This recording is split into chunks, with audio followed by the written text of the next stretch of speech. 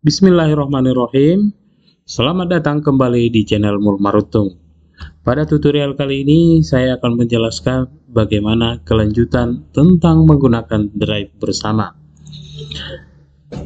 Pada tutorial kelanjutannya adalah bagaimana caranya kita menghapus atau mengelola anggota.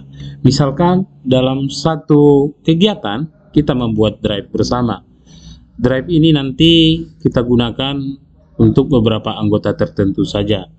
Maka tentunya ketika telah selesai, maka file-file di drive bersama bisa kita hapus atau kita pindahkan atau diarsipkan. Maka hal pertama yang kita lakukan adalah seperti halnya kita mengelola anggota.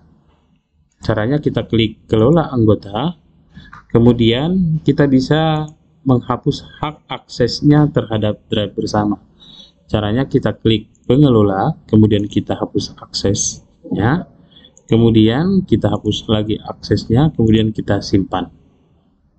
Nah, maka secara otomatis drive bersama hanya dimiliki oleh satu orang saja. Jika ingin menambahkannya, silakan ditambahkan lagi dengan mengetikkan email yang bersangkutan yang menjadi anggota dari drive bersama ini. Nah, langkah selanjutnya adalah bagaimana cara menghapus drive bersama ini. Kalau ingin menghapusnya, hal pertama yang harus kita lakukan adalah kita harus menghapusnya.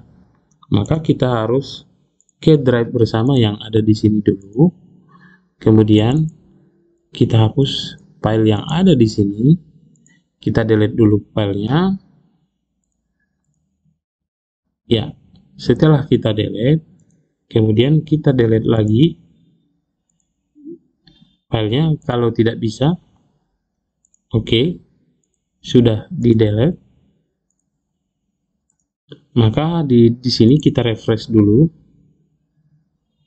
Maka drive bersama sudah. Masih ada ya? Maka kalau isinya sudah dihapus, isi dari file drive ini sudah dihapus, maka drive-nya yang tadi kita sembunyikan bisa kita hapus drive, hapus drive bersama seperti ini. Ya, itu dia tadi cara menghapus drive bersama. Mudah-mudahan bisa bermanfaat